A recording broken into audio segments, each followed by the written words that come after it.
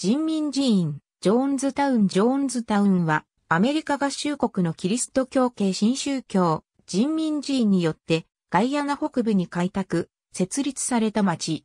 正式名称は、ピープルズ・テンプル・アグリカルチュラル・プロジェクトであり、ジョーンズタウンは通称である。1978年11月18日、この人里離れたコミューンで、計918人の集団自殺を決行したことで、世界的に著名になった。後に、この開拓地の名前は、このコミューンで起こった惨劇そのものを示すこととなった。人民寺院教祖のジム・ジョーンズが革命的自殺と呼んだ、この集団自殺で多くの信者はシアン化物中毒で死亡している。また、集団自殺前に行われた一部信者へのジョーンズの説法とその後の集団自殺の様子がオーディオテープに残されている。この集団自殺の前には、ポートカイトゥマの空港滑走路で人民人信者によって5名が殺害される事件が起きている。殺害された被害者の中には、アメリカ合衆国下院議員のレオ・ライアンも含まれている。さらにジョーンズからの指令によって、ガイアナの首都ジョージタウンの人民寺院支部で信者4名が死亡している。このジョーンズタウンで起こった惨劇は、一般的には集団自殺とみなされているが、その一方で、ジョーンズタウンの生還者たちを含む多くの情報源においては、むしろ大量殺人と考えられている。信者たちは強制されて、服毒自殺した、ともされており、服毒自殺した信者の3割強、304人が未成年であった。この集団自殺は現代における同様の惨劇の中でも最大規模なものであり、2001年9月11日にアメリカ同時多発テロ事件が発生するまでアメリカ合衆国民の古殺において最多の被害者数を記録した事件であった。近年ではジョーンズタウンの殺戮はいくつかの陰謀論の主題となっている。ジョーンズタウンは集団自殺によって崩壊し、跡地も放棄された。集団自殺後に再利用が試みられた時期もあったが、火災によってそれも短期間で断念され、現在では元のジャングルへと戻っている。ロサンゼルス・サンフランシスコ・ユカや、ベーカーズフィールド・フレズノ・サクラメント・サンタローザ、カリフォルニア州における人民寺院の支部所在人民寺院教祖、ジム・ジョーンズ人民寺院は1955年にアメリカ合衆国インディアナ州マリオン郡、インディアナポリスで設立された。人民寺院のルーツと教義は聖書教会やキリスト教信仰復興運動にあるが、それに加えてマルクス主義を融合した使徒社会主義と呼ばれるものを実践しようとした。その中で人民寺院は宗教のアヘンに陥っている人々は強家社会主義化しなければならないと説いた。1960年代初期に、ジョーンズはブラジルでの人民寺院支部設立の途中で、ガイアナに立ち寄っている。ジョーンズが人種的差別廃止思想について、インディアナ州で相当な非難を浴びるようになった後、1965年に人民寺院は本部をカリフォルニア州レッドウッドバレーに移転した。1970年代初期になると、人民寺院はカリフォルニア州内、ロサンゼルスやサンフランシスコに複数の支部を持つようになった。1970年代中盤になると、人民寺院は本部をサンフランシスコへと移転させた。サンフランシスコへの本部移転に伴って、人民寺院は政治家との結びつきを強めていった。1975年のサンフランシスコ市長選において人民寺院がジョージ・モスコーニの当選に深く関与していたと判明し、モスコーニはジョーンズをサンフランシスコ住宅公社委員会の委員長に指名した。カルト教団の教祖とされる多くの人物とは異なり、この時期のジョーンズは公的な補助を受けたり、アメリカ合衆国の有力政治家たちにパイプを持つなど映画を極めている。1976年9月にはジョーンズの栄誉を称えた大規模な授与パーティーにカリフォルニア州知事のジェリー・ブラウンやカリフォルニア州副知事のマービン・エム・ダイマリー、カリフォルニア州議会議員のウィリー・ブラウンといった面々が参加している。1972年から1973年にかけてレスター・キンソルビングによる教団の致命傷になりかねない告発記事が出版され、加えてギャング・オブ・エイトと呼ばれた8人の教団信者の脱退と告発があった。ジョーンズと人民人メンバーのティム・ストームは警察やマスメディアからの弾圧に対する即時対応策を準備した。この計画では様々な案が検討されており、その中ではカナダへの逃走やバルバドスやトリニダード等のような地でのカリブ地方の伝道組織として逃亡するといった案も検討されていた。このカリーブ地方の伝道組織を置く国として人民寺院はその国の経済とアメリカ合衆国との犯罪人引き渡し条約を調査し短期間のうちにガイアナを選定した。1973年10月には人民寺院の指導者たちはガイアナで農業計画を実行することを決定した。ある部分では人民寺院は自身の平等主義的政治姿勢のためにガイアナを選んだとされ、選定を行っている最中にさらに左翼傾向を強めたとされる。人民寺院元信者のティム・カーターはガイアナを選んだ理由についてアメリカ合衆国政府の人種主義と多国籍企業による支配という人民寺院側の見解を挙げている。カーターによれば、ガイアナは圧倒的に先住民人口が多く、かつ卓越した黒人の指導者がいる英語を話す社会主義的国家であり、人民寺院の黒人信者が平和な生活を送れる場所であると結論付けられたとされる。後に、ガイアナ首相のフォーブス・バーナムは、ジョーンズはおそらく社会主義の確立のための基礎として共同組合を利用し、おそらく彼のコミューンを設立するというアイデアと共同組合を調和させたかったのだろう。と述べている。またジョーンズはガイアナが貧しい小国ながら独立性が高いため、簡単に影響力と公的な庇護を手に入れることができる国であると考えていた。1974年にジョーンズと人民寺院はガイアナの役人と共にガイアナ北西部へと訪問を行った後、ガイアナの首都ジョージタウンの西150マイルの場所にある熱帯雨林の土地3800エーカーを借り受ける協定を結んだ。この場所は孤立した場所な上、ガイアナの標準的な土地と比較しても痩せた土地であった。さらに最も近い水源まではぬかるんだ道を7マイルも移動しなければならなかった。加えて、ジョーンズタウンの立地は、ベネズエラとの国境紛争を抱えている場所から遠くない場所であり、当時のガイアナ政府には、アメリカ国民入植者の存在がベネズエラによる軍事侵攻を抑止する役に立つという期待もあった。当初約500人の信者たちが、ジョーンズタウンの開拓を開始し始めたが、人民寺院は、さらなる移住を推し進め、これをピープルズ・テンプル・アグリカルチュラル・プロジェクトと名付けた。ジョーンズは、ジョーンズタウンを社会主義者の楽園、及びマスメディアの監視に対する聖域であるとみなしていた。1976年、ガイアナは1974年4月に協定を結んだガイアナの北西部の3000エーカーを超える土地の貸与をついに承認した。その土地には後にジョーンズタウンが築かれることになる。1974年、ガイアナ政府高官は人民寺院が輸入する一定の物品について免税を受ける権利を認めた。後に、この免税は結果的に人民寺院の重火器及び麻薬のガイアナへの密輸をガイアナの税関を通った上で安全に行うことができるように補助することとなった。ガイアナにやってきた比較的大規模な移住者は地域住民に数で勝り、ガイアナ政府の小規模ながら厳格な移民受け入れ、体制を圧倒した。ジョーンズは、ガイアナが人民人信者の大規模な移住を許可するという約束を取り付けるまでに至った。そのために、彼は人民人信者は才能豊かで革新的であると明言した上、50万ドルが入っているとする封筒を見せつけたり、ガイアナに対して教団の資産のほとんどを投資するとまで述べた。ガイアナの移民手続きは人民人信者の離反者を抑制し、加えて人民人的対者のビザ発給をも抑制していた。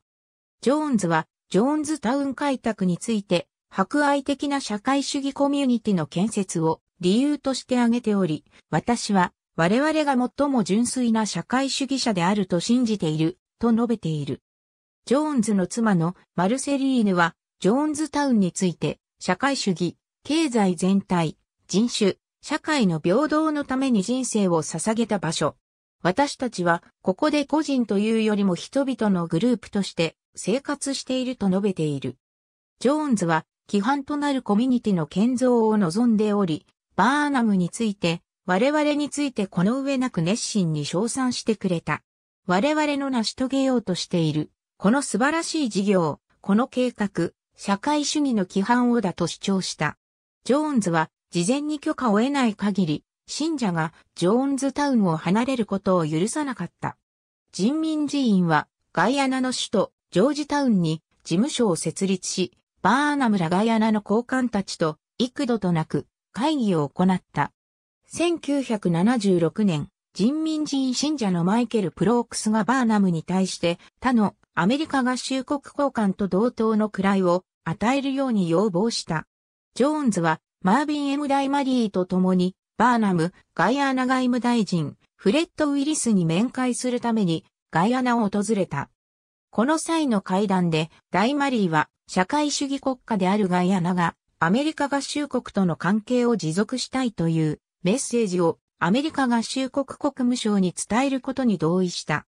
ダイマリーはこの会談でのバーナムへの書簡でジョーンズを最も優れた人物の一人と明言しており、加えてダイマリーはジョーンズタウンを訪れて猛烈に感動したとも述べている。人民人信者たちはバーナムの人民国民会議に対する忠誠を何度となく強調していた。信者の一人、パウラ・アダムスは、ガイアナのアメリカ大使、ローレンス・ボニーマンと恋愛関係になっていた。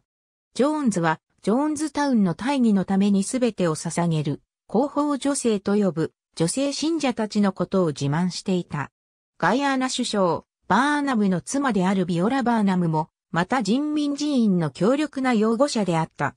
後にバーナムは、ガイアナは、人民寺院が、モスコーに、モンデール、そしてロザリン・カーターの身分保障のもと、活動することを認めたと明言した。同時に、バーナムによれば、1977年9月のトリホスカーター条約調印に際して、ガイアナ代表のプトレミー・レードがワシントン DC を訪れた際、モンデールがジムはどうしてる？とレードに尋ねたという。これはモンデールがジョーンズの近況について個人的興味を持っていることを示唆していた。ジョーンズタウンの人口推移1977年夏、ジョーンズと人民寺院信者数百人がサンフランシスコのマスメディアによる捜査によって徐々に強まる圧力から逃れる形でジョーンズタウンへと移住してきた。さらに、マーシャル・キルダフによって書かれた元人民寺院信者による人民寺院の虐待の詳細を告発した記事がニューウェスト紙に掲載されたが、同誌の編集者が出版に先んじて、ジョーンズに記事の内容を伝えたため、ジョーンズはその日のうちにジョーンズタウンへと移住した。この大規模な移住の後、ジョーンズタウンは過密状態となった。ジョーンズタウンの人口は1978年にピークを迎え、1000人弱の人口があった。人民寺院の信者の多くは、ジョーンズタウンが、ジョーンズが約束したような楽園、ユートピアであると信じていた。しかしながら、ジョーンズが移住してくると、ジョーンズタウンの生活は大きく変わってしまう。最初期の移住者たちは、ジョージタウンよりもたらされる娯楽映画を楽しんでいたというが、ジョーンズが移住してきてからは、ソビエト連邦のプロパガンダ映画やアメリカの社会問題を描いたドキュメンタリー映画ばかりが優遇されるようになってしまい、娯楽映画はほとんど上映されることがなくなった。ジョーンズの移住後の官僚的な要求によって、労働力は他の要件に割かれることとなった。建築物は荒野に崩れ落ち、雑草の侵食が激しかった。学校の授業や大人たちへの夜間授業は、ジョーンズによる革命と大敵に対する抗議に様変わり、し、その中では、ソビエト連邦の同盟、ジョーンズの危機、そして人民寺院を脱退して敵対姿勢を鮮明にしていたティム・ストーンが送り込んだという傭兵たちの噂に焦点が当てられていた。最初の数ヶ月間は人民寺院の信者たちは週6日、間に昼食の1時間を含んで朝6時30分から夜6時まで働いていた。1978年中頃にジム・ジョーンズの健康状態が悪化し、ジョーンズの妻がジョーンズタウン運営の主導権を握るようになると、週5日、1日8時間の労働と改められた。1日の仕事が終わった後、人民寺院の信者たちはパビリオンで社会主義の授業を含む様々な活動を数時間行っていた。ジョーンズは、この信者たちのスケジュールと北朝鮮の8時間の労働と8時間の勉強と行わせるシステムとを比較していた。同時にこれは徐々に信者たちを北朝鮮や毛沢東の中国を手本にした成功なマインドコントロール、行動変容に適合させるためのものであった。ジョーンズはラジオモスクワやラジオハバナキューバの番組を含むニュースやコメンタリーを読み聞きしており、中ソ対立の最中には中国よりもソ連側を支持していることで知られていた。時事問題についての議論は多くの場合、ジョーンズが信者に対してニュースの含意や解釈を問い詰めたり、ジョーンズ自身が特定の出来事をどう読むべきかについて長々と尻滅裂な演説を行ったりという形になった。ソビエト連邦のドキュメンタリーに加えて、パララックスビュー、ジャッカルの日、戒厳令や Z といった政治的スリラー映画が繰り返し上映され、ジョーンズによって細かい分析がなされた。コミューンの会議の記録には、これらの映画を面白がらなかったり、ジョーンズが映画によって伝えようとしたメッセージを理解できなかった出席者が一人でもいた際、激怒し落胆するジョーンズの姿が残されている。映画や録画されたテレビ番組については、その内容が無害だったり、表面上は政治的中立であったとしても、人民寺院の職員が同席して正しい解釈を示す場合にのみ主張が許された。これは西側諸国の映像に対しては常に資本主義プロパガンダへの痛烈な批判がなされ、そして共産主義国からもたらされる映像では、そのマルクス・レーニン主義的メッセージに焦点が当てられ、賞賛がなされていることを意味していた。ジョーンズのニュース記事朗読の場面は録音されており、ジョーンズタウンの塔に設置されたスピーカーからすべての信者たちが聞くことができるように、昼夜を問わず絶えず放送されていた。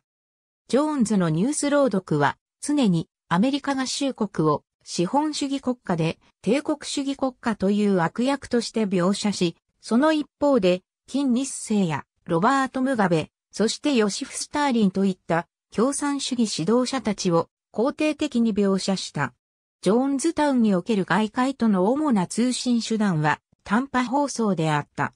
サンフランシスコとジョージタウンとの音声による通信のすべてはこの放送をもって行われていた。この通信によって人民寺院の秘匿されたビジネスのやり取りがなされていた。アメリカ合衆国連邦通信委員会は技術的な違反を指摘しており、加えて商業的な目的でアマチュア無線の周波数を使用していることも記録されている。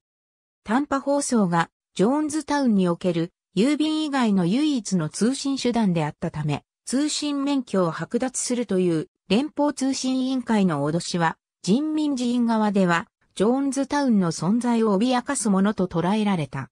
痩せた土地に建設されたことから、ジョーンズタウンでは完全な自給自足を行うことが難しく、小麦等の食料品を大量に輸入しなければならなかった。人民寺院の信者たちは、ヤシの一種であるマニカリやサッキフェラから作られた壁で、仕切られた小さな共同住宅で生活していた。食生活は伝えられることによれば、米、豆、青物野菜で構成され、たまに肉やソース、卵が添えられる程度のものであった。1978年末の時点で推計2600万米ドルもの資産を持っていたにもかかわらず、ジョーンズは小さな共同住宅に居住していた。ただし、ジョーンズの住む住宅には他の共同住宅よりも少ない人数しかいなかった。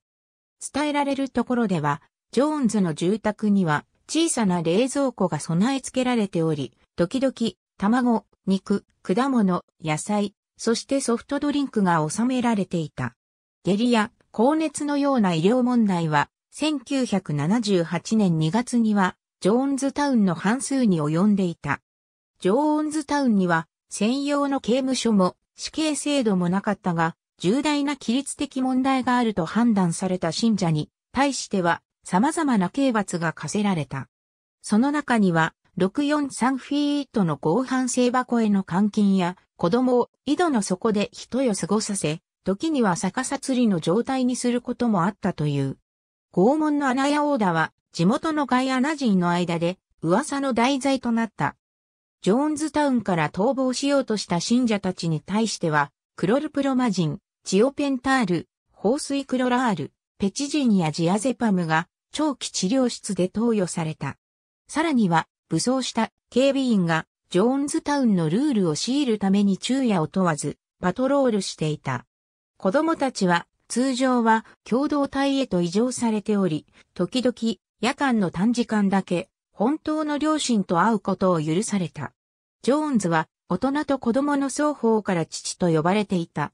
ジョーンズタウンには育児所が設置されており、そこでは33人の赤ん坊が生まれている。月に6万5千ドルを超える福祉費がアメリカ合衆国政府機関から人民寺院を通してジョーンズタウン住民に支払われていた。1978年、ジョージタウンのアメリカ合衆国在外アナ大使館の職員は何度か機械を作って社会保障受給者に対してこの支給方法が意思に反していないかどうか、意見聴取を行った。しかし意見聴取された75人の信者の中には、大使館による聴取で監禁されており、人民寺院を通した社会保障費の支給を強制的に同意させられたとか、ジョーンズタウンを離れたいと証言した者はいなかった。ジョーンズタウンの人口の約7割が黒人から構成されていた。またジョーンズタウン住人の45%が黒人女性であった。ジョーンズは人民寺院の信者たちにジョーンズタウンの安全について折に触れて語っていた。その中には CIA や他の情報機関が資本主義者の豚と共に共謀してジョーンズタウンを破壊し住民を傷つけようとしているという内容のものもあった。勤めを終えた後、非常事態が発生した際のために人民寺院は時々、ジョーンズが白い夜と呼ぶものを先導した。これらの中では、ジョーンズは信者たちに4つの選択肢を与えた。それは、ソビエト連邦へ逃亡する革命的自殺、ジョーンズタウンに泊まり襲撃者たちと戦う、そしてジャングルに逃げ込むというものであった。少なくとも2回の白い夜では革命的自殺が選択され、集団自殺のリハーサルが行われた。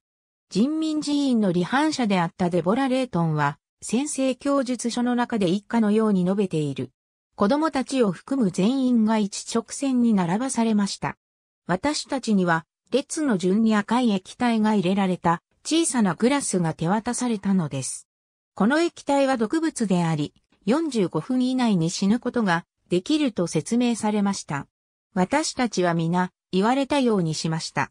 その時が私たちが死ぬ時が来たのだと思った時、教祖ジョーンズは、この毒は偽物で、これは中精度を測るテストであったと説明しました。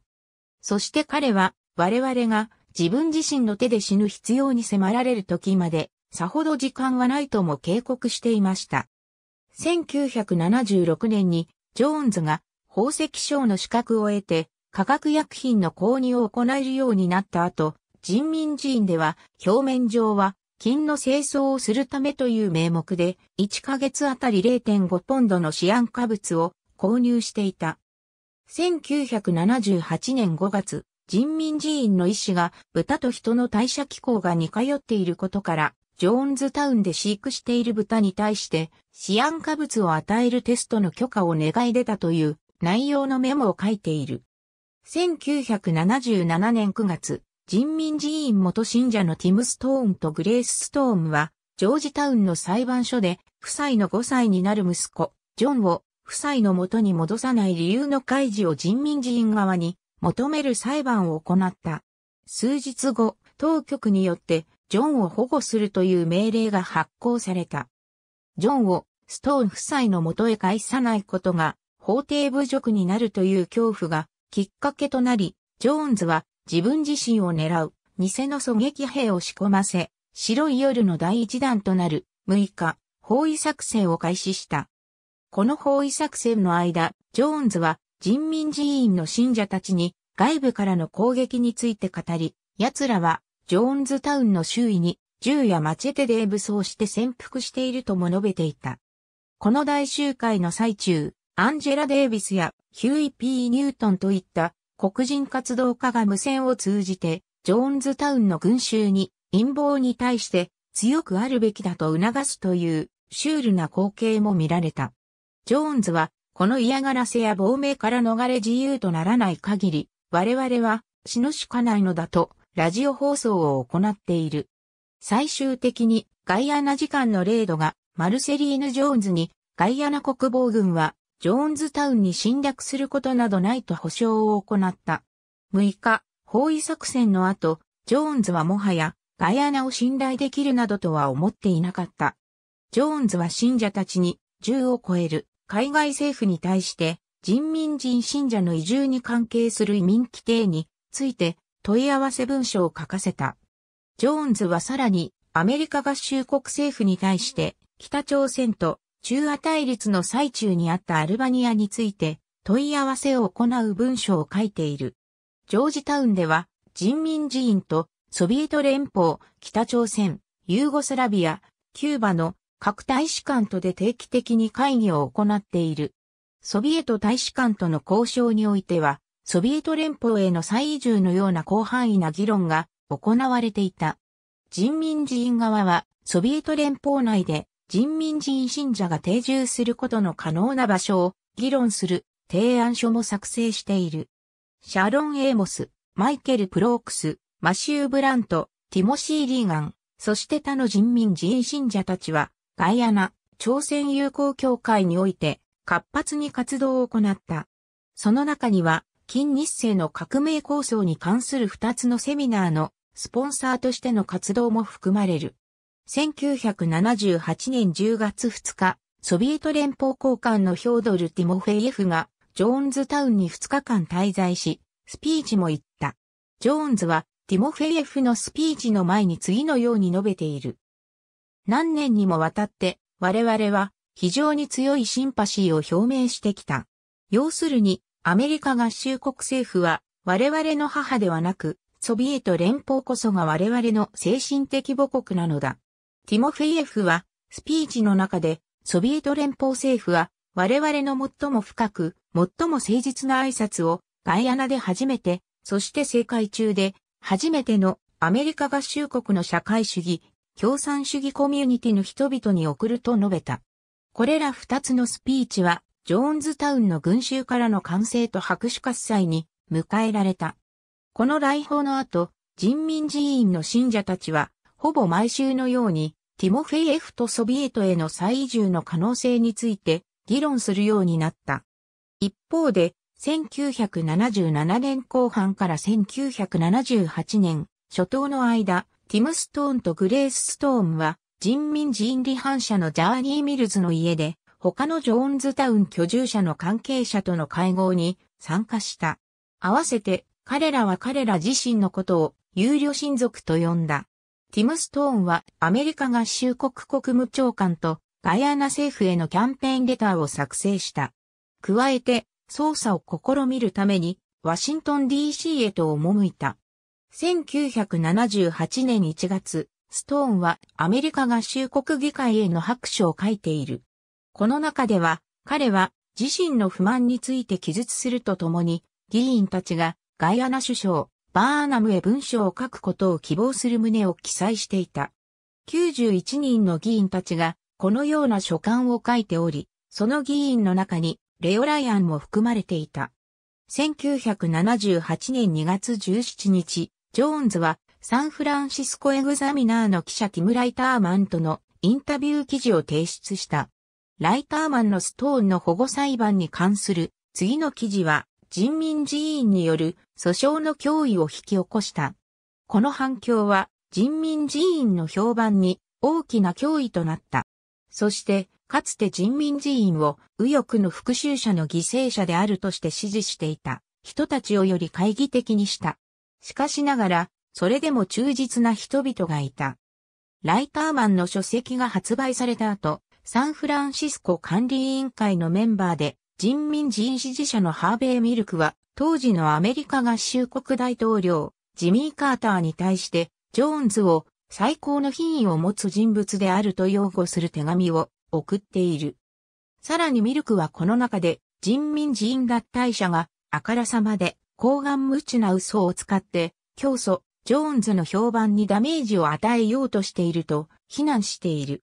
1978年4月11日、有料親族たちは、教祖ジェームス・ウォーレン・ジョーンズによる人権蹂躙の告発と題された文書集を人民寺院やマスコミ関係者、アメリカ合衆国議員たちに配布し始めた。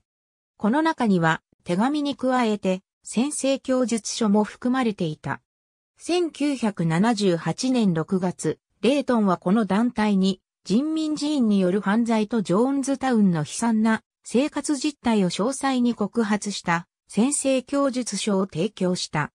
ティム・ストーンはジョーンズと他の人民人信者に対する民事訴訟を起こし、1978年5月から6月にかけて戦った。ストーンは3人の有料親族のメンバーを代表しており、合計で5600万ドルを超える損害賠償を請求した。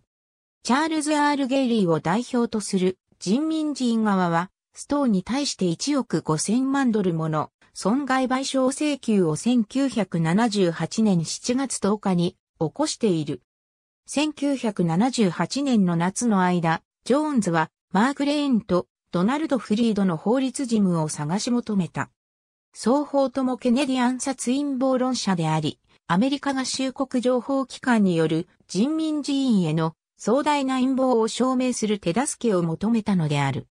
ジョーンズはレーンに対してエルドリッジ・クリーバーのようにやりたいと望み、自身の評判が回復した後にアメリカ合衆国に戻るつもりであることを語ったという。1978年9月、レーンはジョーンズタウンの住人たちにジョーンズの陰謀説を支援することや、ジョーンズがマーティン・ルーサー・キング・ジュニアに匹敵すると語った。レーンはさらに人民寺院に対する告発は正しくも真実でもないと、さらには情報機関による人民寺院への大いなる陰謀があるとも述べた。この際、CIA に加えて FBI、果てはアメリカ合衆国郵便公社までもがやり玉に挙げられた。レーンは利害関係のない第三者を自称していたが、実際にはこのような陰謀論を生み出すために月6000ドルもの金を受け取っていた。ジョーンズの健康状態はジョーンズタウンで大幅に悪化した。1978年にはジョーンズは肺感染症の可能性を告知され、信者たちに実際に肺がんになったと周知した。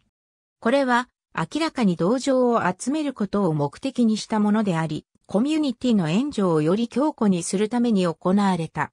ジョーンズは注射用ジアゼッパム、メタクアロン、精神刺激薬、LSD、バルビツレートを乱用していると噂されていた。ジョーンズタウン内で1978年に行われた会議の録音テープは、ジョーンズの身体的健康状態の悪化の証拠となった。この中には、高血圧、小規模な脳卒中、急激な体重減少、一時的な失明、痙攣を訴えるコミューンのリーダーの姿が記録されている。そして、1978年11月初頭には、獅子にグロデスクな腫れ物まで現れるようになった。ジョーンズはしばしば慢性の不眠症を訴えていた。それによれば、彼は3日から4日間一度も休むことができなかったとのことである。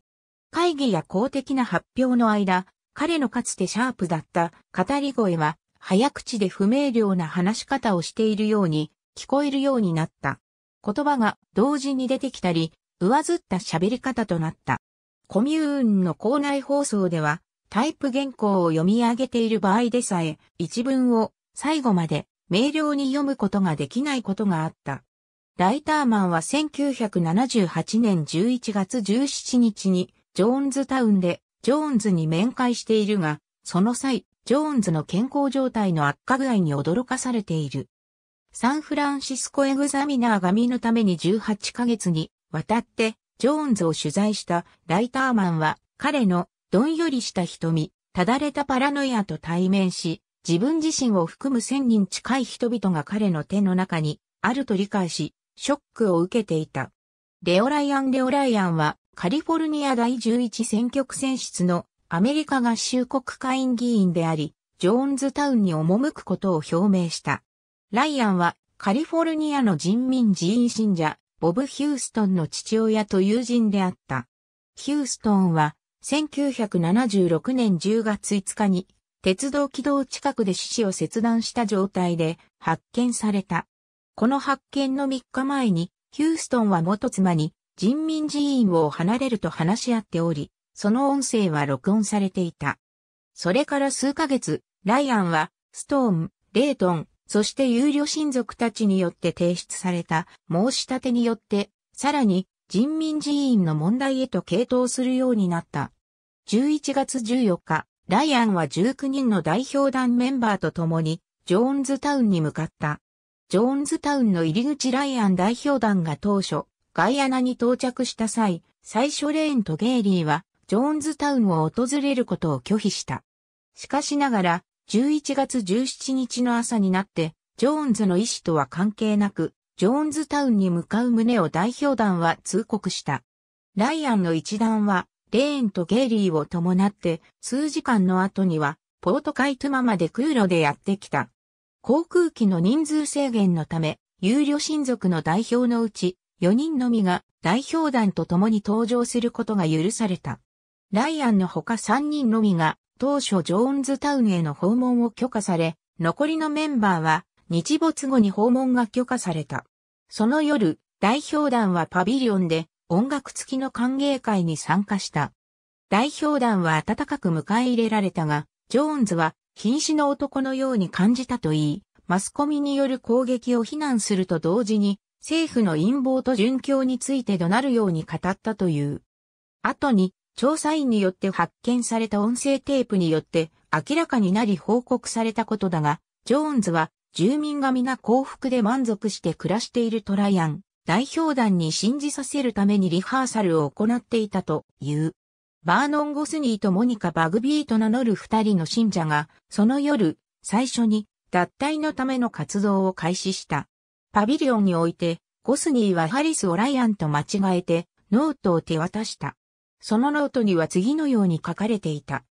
親愛なる議員様、バーノン・ゴスニー、モニカ・バグビーより、どうか私たちをジョーンズタウンから助け出してくださいライアン、スペア、ドワイヤーとアニボーンはジョーンズタウンの中に宿泊したが、残りのメンバーは他の宿泊施設を見つける必要があると伝えられた。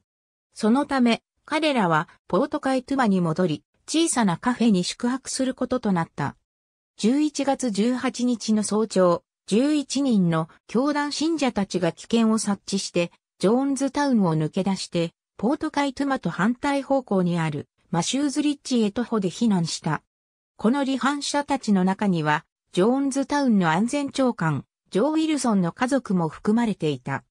記者や有料親族のメンバーが同日にジョーンズタウンに到着した時、マルセリーヌ・ジョーンズは彼らをジョーンズタウンのツアーに案内している。同日午後、パークスとボグーの家族が、義理の家族のクリストファー・オニールとハロルド・コーデルと共に、ジョーンズタウンから連れ出してほしいと、ライアン代表団に依頼した。ジョーンズの養子であるジョニーが、ジェリー・パークスに脱退者から外れるように頼んだが、パークスは彼に向かって、とんでもない、共産主義者の収容所に過ぎないのにと言い拒否した。ジョーンズはゴスニーとバグビーを含む二家族のジョーンズタウン離脱を許可した。パビリオンでのインタビューの最中、ハリスがゴスニーのノートをジョーンズに手渡した時、ジョーンズは離反者たちは嘘をついていて、ジョーンズタウンを滅亡させることを望んでいると語った。突然の猛烈な暴風雨が始まった後、家族間の感情的な場面が生まれた。ネイティブアメリカンの人民自員信者、アルサイモンが二人の子供たちをライアンに引き渡し、アメリカ合衆国に戻るための事務手続きを行うように願い出た。アルの妻ボニーが人民寺院のスタッフによって覚醒器で呼び出され、大声で夫を非難した。アルはボニーと共にアメリカ合衆国へ戻りたいと弁明したものの、ボニーは彼の言葉に聞く耳などを持たなかった。ライアン代表団は大きなダンプドラッグに乗ってポートカイトゥマ空港へ向かい始めたが、ライアンとドワイヤーは追加の離反者のためにジョーンズタウンの近くに止まっていた。ダンプトラックがジョーンズタウンを離れる直前に人民人信者のラリー・レートンが飛び乗ってきた。離反者の中の数人はラリー・レートンがジョーンズタウンを離れる動機に対する疑念を口にしていた。ダンプトラックがジョーンズタウンを出発してすぐに教団信者のドン・ウラジャスライがナイフを握りしめてライアンに掴みかかった。スライは代表団の他のメンバーによって取り押さえられたが、ライアンに怪我はなかった。ドワイヤーは、ライアンにすぐにジョーンズタウンを離れ、スライに対して刑事告発を行うよう強く訴えた。ライアンはそれに同意し、後に刑事告発することを約束した。空港へ向かうトラックは、ライアンへの攻撃を聞きつけた乗客によって止められ、ライアンをも乗せて空港へ向かうことになった。もともと、ライアンの側近たちは、ガイアナヤウェイズが所有する定員19人の DHC-6 でジョージタウンに戻る予定だった。ジョーンズタウンから離反者たちを連れてきたことで、人数が多くなり、追加の飛行機が必要となった。そのため、アメリカ合衆国大使館が2機目の飛行機として、6人乗りのセスナを準備した。代表団は午後4時30分から午後4時45分の間に空港に到着したが、飛行機は予定通りには到着していなかった。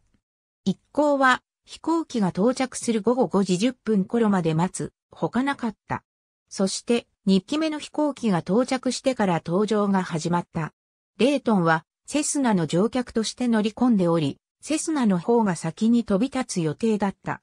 セスナが滑走路の一番端に到着した後、レートンは拳銃を持ち出し乗客を銃撃し始めた。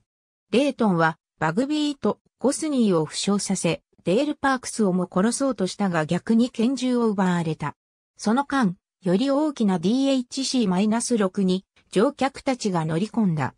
人民寺院の自警団、赤い旅団の団員に運転されたトラクターが滑走路に現れ、DHC-6 へと近づいた。トラクターにはトレーラーが接続されていた。トラクターが DHC-6 の30フィート程度まで近づき、それとほぼ同時にセスナでの襲撃が始まった。赤い旅団もショットガンや拳銃、ライフルで銃撃を開始した。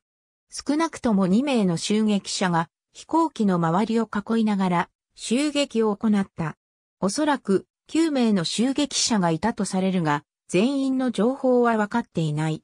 しかし多くの情報源から、ジョー・ウィルソン、トマス・カイス・シニア、ロニー・デニスがその中にいたとされている。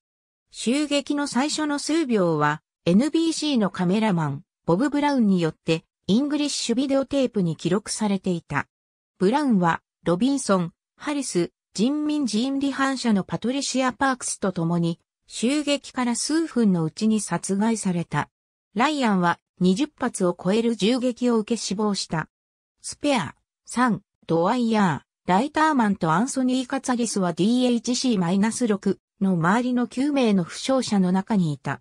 襲撃の後、セスナ機のパイロットは DHC-6 のパイロット、副パイロットと共に、セスナ機をジョージタウンへと飛ばした。機体にダメージを受けた DHC-6 と怪我を負ったライアン代表団のメンバーは滑走路に置き去りにされた。空港へ出発する前、ライアンはゲイリーに、ジョーンズタウンは基本的には良い場所であったと報告書をまとめるつもりだと語った。ライアンは彼が聴取を行った60人の関係者の誰しもがジョーンズタウンを離れたくないと語り、14人の離反者も、ジョーンズタウンの人口に比べれば非常に少ない人数であり、離反者が感じていた高速感は、同調圧力と移動手段がないことが原因であると述べた。さらに、たとえ900人以上のうち200人が退去したいと考えたとしても、ここが素敵な場所だということには変わりがないだろうと発言した。ゲイリーの報告にもかかわらず、ジョーンズは彼に対して失敗したと語った。ゲイリーは何度もライアンが好意的な報告書を書くだろうとジョーンズに諭したが、ジョーンズは全てを失うと取り合わなかった。死のテープとして知られる44分のカセットテープは、この日の夕方、ジョーンズの指示でパビリオンの下で行われた集会の一部を録音したものである。この集会に先立って、側近たちは、金属製の大鍋に、ブドウ味のフレーバーエイドに加えて、ジアゼッパム、放水クロラール、シアン化物、プロメタジンを加えた毒物を作り上げた。集会が行われた時、ライアン代表団がジョージタウンへ空路で戻ることを参照しつつ、ジョーンズは集会の参加者たちに次のように語った。飛行機に乗っているうち一人がパイロットを狙撃すると、私は知っています。私がそれを計画したわけではありませんが、それが起きることを知っているのです。パイロットを襲撃された彼らは、ジャングルへと飛行機でやってきます。私たちの子供を残しておくべきではありません。彼らはパラシュートでここに降り立ってくるのです。敵対的勢力は捕獲した子供をファシズムに洗脳するとジョーンズが繰り返し述べていたことを受けて、ある信者が次のように述べた。子供たちを連れ去った奴等は、彼らを自分たちの手先として育て上げるだろう。このテープの中で、ジョーンズは人民寺院の信者たちに革命的自殺を行うように促した。このような行動は、ジョーンズタウンからの離反者によれば、人民寺院によって以前から計画されており、その理論は、あなたたちは自分の道を選ぶと言って、歴史に名を残すことができる。そして、これは資本主義を拒否し、社会主義を支持するという約束でもあるのです。というものだった。人民寺院のメンバーであるクリスティン・ミラーは、ソビエト連邦へと飛行機で脱出するよう試みることを主張した。わずか2日前にジョーンズタウンに到着した元セラピストのジム・マッケルバンは、ミラーの自殺への抵抗に反対し、ジョーンズの言う自殺という選択肢を支持した。マッケル版は素晴らしい火を作ろうと述べ、後には転生の可能性についても言及している。ジョーンズはソビエトへの亡命など不可能だと主張するなど何度かの意見交換がなされたが、他の人民寺院のメンバーによるミラーへの非難という反応によって、ミラーは自分の主張を撤回した。しかしながら、ジョーンズが空港襲撃から帰ってきたメンバーに議員が殺されたという点について確認したために、ミラーは反対意見を述べるのをやめた可能性もある。ライアンを殺害した赤い旅団のメンバーが、ジョーンズタウンに戻ってきた時、元ベトナム戦争従軍兵のティム・カーターは、彼らが疲弊しきった兵士たちの何かに寄りつかれたような目をしていることを思い出した。ジョーンズの議員死亡の確認の後、意義を唱える者は死のテープには現れなかった。この直後、ジョーンズは、とにかく、正しい行動を行ったのは、赤い旅団だけだ。そして、赤い旅団は彼らに正義を知らしめたのだと述べた。その後、マッケル版に続いて、他の人民寺院のメンバー数人が、ジョーンズと彼の集団自殺という決断を称える、スピーチを行った。ジョーンズがこれに対して、感謝を返すのを止め、早く事態を進めるよう懇願し始めてもなお、スピーチは続いた。ジョーンズタウンから逃げ出した人民寺院信者、オーデルローズによると、最初に毒灰を煽ったのは、ルーレッタ・ポールと彼女の一歳の赤ん坊であったという。針の取り除かれた注射器が赤ん坊の口に毒を流し込むために使われた。そして、ポールは別の注射器から毒を自身の口に注入したのである。スタンリー・クレイトンも同様に最初に自分の赤ん坊に毒を与える母親たちを目撃している。クレイトンの言葉によれば、ジョーンズは人々に毒を煽ることを促しており、成人たちは毒が効果を表し始めると死への躊躇を見せたという。この毒は人々を5分以内に死に追いやった。ローズによれば、毒を飲み干した人々は、木製の廊下を通ってパビリオンの外へと案内された。この行動が、もともと白い夜の別のリハーサルとして、当初から考えられていたかは定かではない。ローズは、死にかけている、子供の傍らにいたと報告している。他の人々が、毒の効果で死んでいく様子に応えて、ジョーンズは次のように忠告した。尊厳を保って死ぬのです。尊厳と共に生を捨てましょう。涙と苦痛と共に捨てるのではありませんと。加えて次のようにも述べている。私はあなたたちに伝えます。私はあなたたちがどれほどの叫び声を聞いたのか気にしません。私はあなたたちがどれほど苦しみ泣いたのかも気にしません。死はこの人生の10日間よりも100万倍も望ましいものなのです。もし、あなたがこの先に何があるかを知っているなら、もしあなたがこの先に何があるかを知っているなら、あなたは今夜踏み出すことができて嬉しくなるでしょう。ローズは毒が数名の子供たちの口に注がれたが、パニックや感情的な拒絶はなく、召集された人民人信者たちは、まるで我を忘れた状態になっていたかのようであると述べている。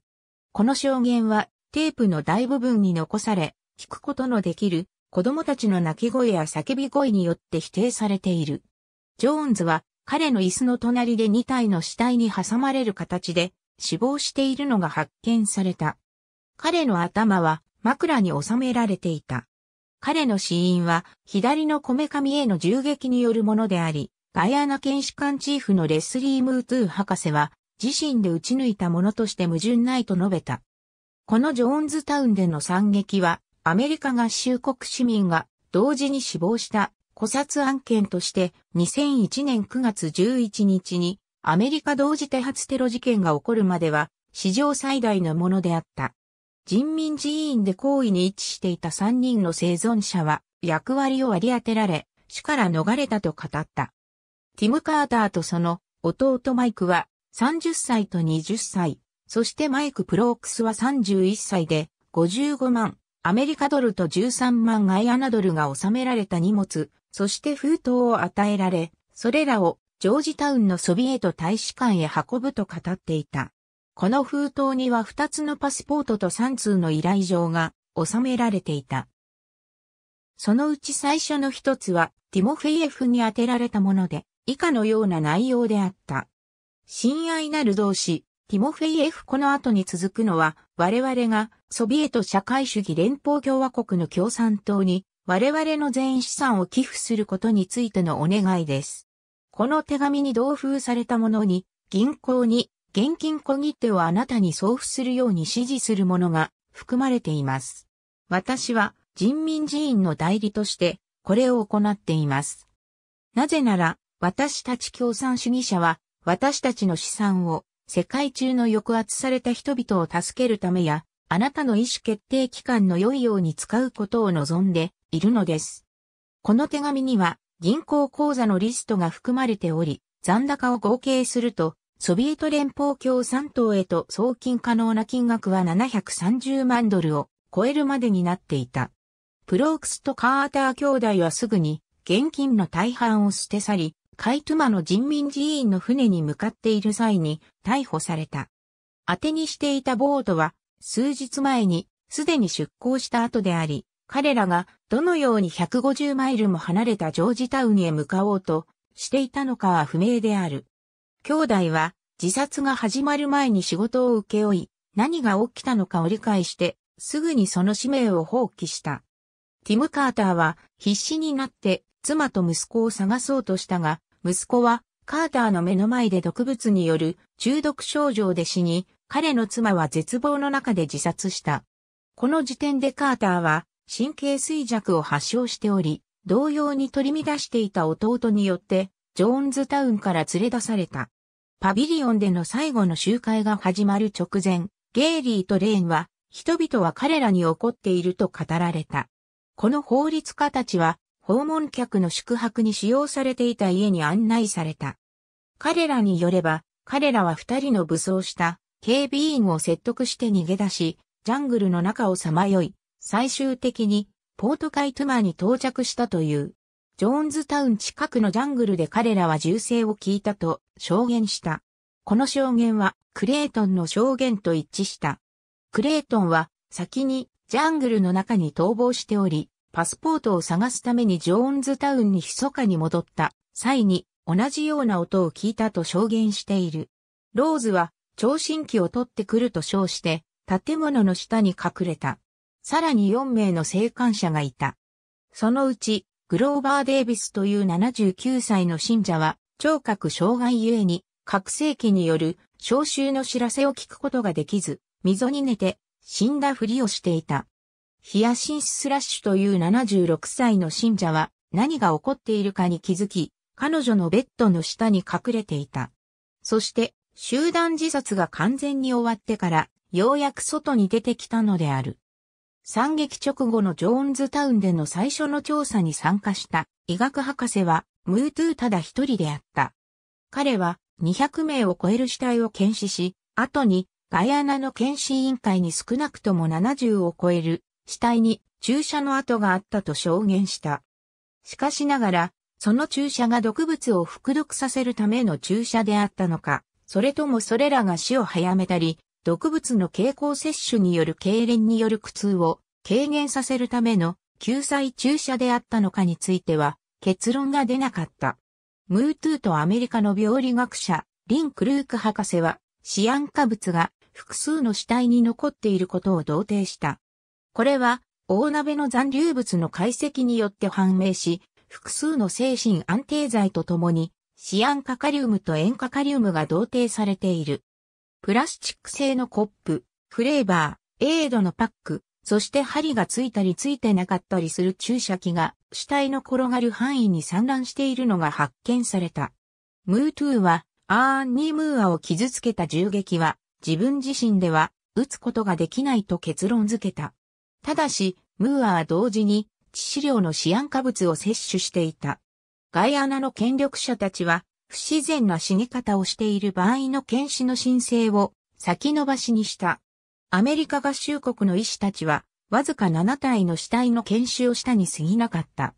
その中には、ジョーンズ、ムーア、ローレンス・シャハト博士、そしてキャロライン・レートンの死体が含まれていた。ムーアとレートンは、検視解剖者の中から選ばれた。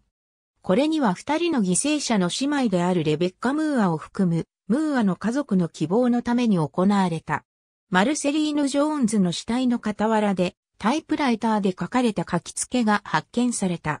この書き付けの日付は1978年11月18日となっており、マルセリーヌのサインがなされており、ムーアとマリア・カツァリスが証人として署名していた。私、マルセリーヌ・ジョーンズは私名義の銀行口座の資産をソビエト連邦共産党に贈与します。この上記銀行口座はバハマナス層のノバスコシア銀行の口座です。どうか、この財産をソビエト連邦へ届けてください。私は、養子のスザンヌ・ジョーンズ・カートメルの手にこの財産が渡ることがないように強く望んでいます。この手紙を見つけた、どなたか、どうかこの望みを引き受けてください。これは、私と私の夫、ジェームズ・ W・ ジョーンズの最も大切な願いなのです。ムーアもまた書き付けを残していた。その中の一文で次のように残している。私は今、私自身なぜこんなものを書いているのかわからないほど、世界に対して憤慨しています。これを見つけた人は、私が狂っていたかと信じるか、ジョーンズタウンには、有刺鉄線などなかったと信じるかのどちらかでしょう。そして、最後の行は、別の色のインクで書かれていた。ムーアの書き付けの中で、この日に起こった惨劇について、他に具体的な言及はなかった。ムーアはまた次のように書いている。ジョーンズタウンかつて存在した最も平和で愛に満ち溢れたコミュニティ加えてジム・ジョーンズこの楽園を作り上げた人世間で語られていた嘘とは全く正反対の人です。権力に飢えたサディスティックで下劣な人物で自分をこともあろうに神だと考えていたなどという嘘とはとも書き残している。そして彼は、レーシズム、性差別、エリート支配、そして主に階級主義を嫌悪していました。それが、彼に、人々のための新たな世界ジャングルの中の楽園マイナスを創設させたのです。子供たちはそれを愛していました。他の人たちもそうでした。とも書いている。キャロライン・レートンの死体の傍らでは、レートンのサインがなされ、カツァリスとムーアが証人として署名した手書きの書き付けが見つかった。日付は1978年11月18日となっており、次のように書かれていた。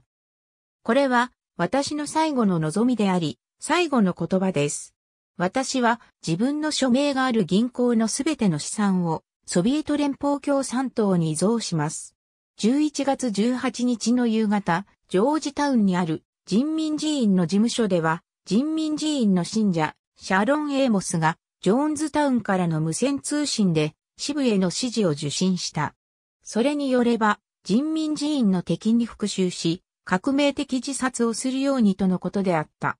警察が事務所に到着した後、エーモスは彼女の子供、リアン、クリスタ、そしてマーティンを風呂場に連れて行った。キッチンナイフを握りしめ、シャロンはまず、クリスタ、それからマーティンを殺害した。それから、リアンがナイフによるシャロン自殺を幇助し、その後で、リアンもナイフを使って自殺した。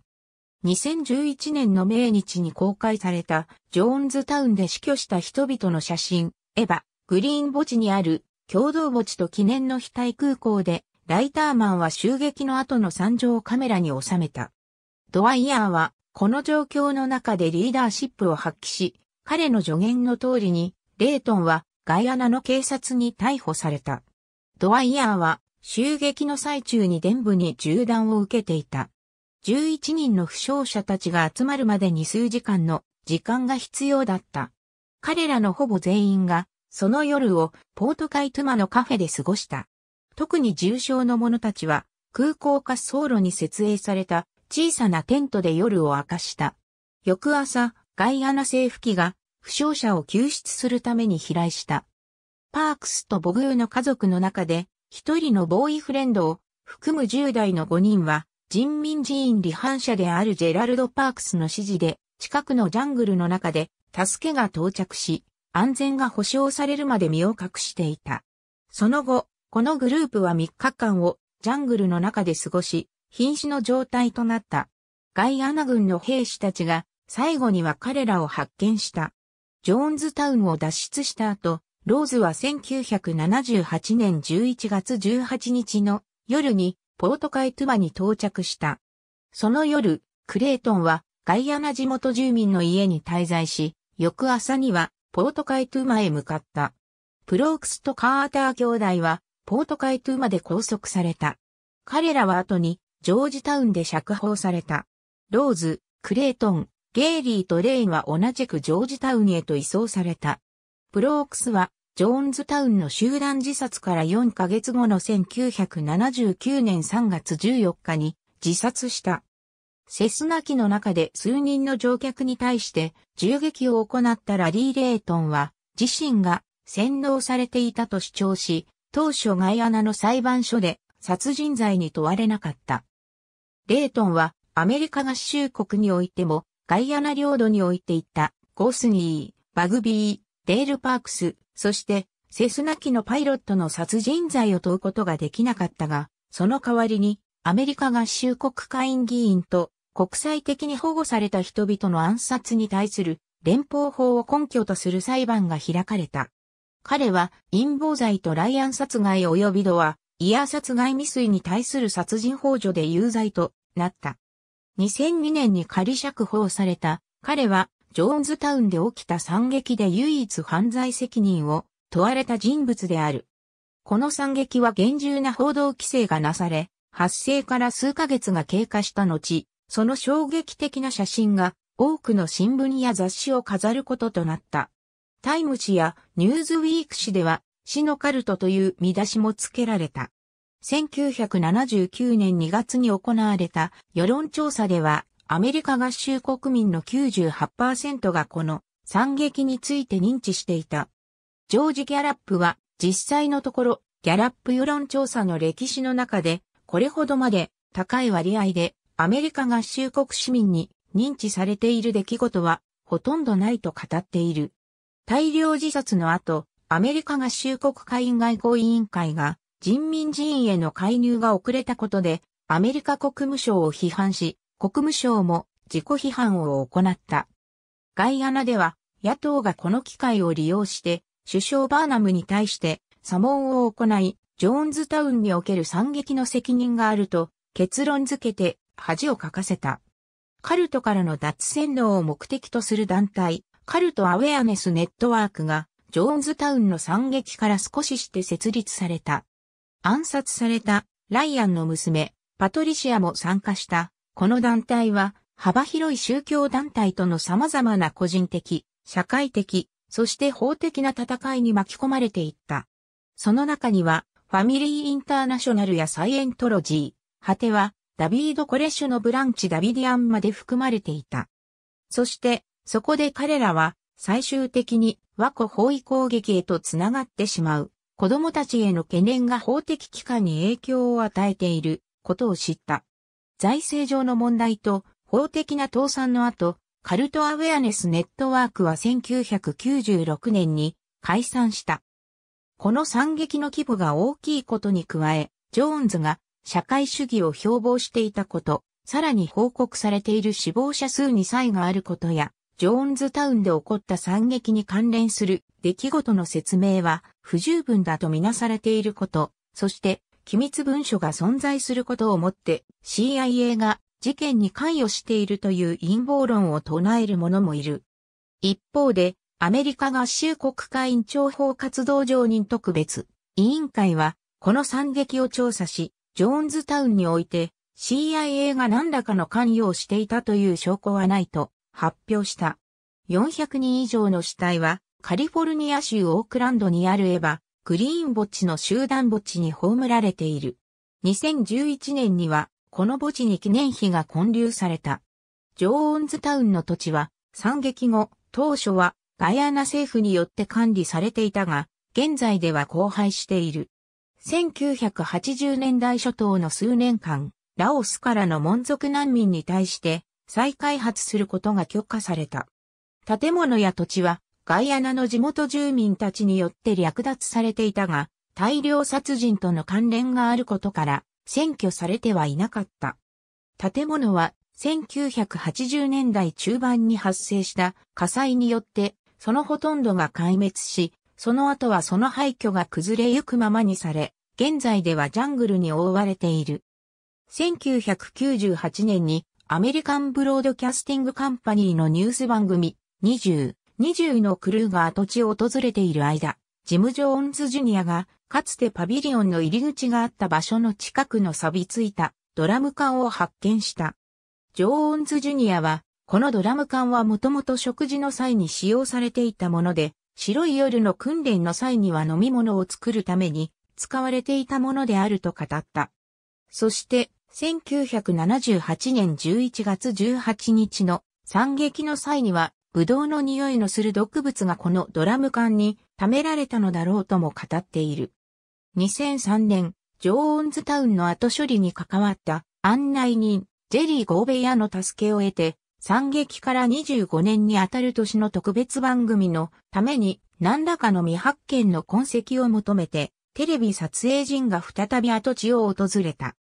跡地は密集する熱帯雨林に覆われていたものの、撮影人たちは未だに残っている、キャッサバ製粉所、トラクターの残骸、発電機、書類戸棚、ジョーンズの家の跡地の近くの横転したトラック、燃料ポンプ、この他にも小さな雑品を次々と発見した。ゴーベーアは撮影チームをかつてパビリオンがあった場所へと案内し、そこで彼らは鉄製ドラム缶やオルガンを発見した。死体が一度は横たえられたであろうベッドでは、ひな菊が育っていた。ジョーンズは毒物にフレーバーエイドを使ったが、このような飲料は一般的にクールイコールエイドと呼ばれていた。そのため、クールイコールエイドを飲むというフレーズが出来上がった。このフレーズは批判的な調査なしに信念や議論、または哲学を疑問なく持つ人々やグループによって用いられることになった。アメリカ人作曲家のフランク・ザッパは、ジョーンズタウン収録と題された楽曲を作曲した。この表題音楽の一曲については、アルバムのライナーノーツにおいて以下の文章が記載されている。すべての宗教の本質的な部分を呼び起こす退屈で、醜い踊り。神からの啓示を受けたと偽る男、かつて子供だった者は、コミューンの飲み物桶に頭を打ちつけ、恋にならない言葉を発する。さあ、取りにおいで、日本では、斎藤、高尾による漫画、ゴルゴ13159は、地獄からの生還者において、人民寺院の集団自殺が題材に使われた。集団自殺、人民寺院集団自殺事件に関するカテゴリー。ありがとうございます。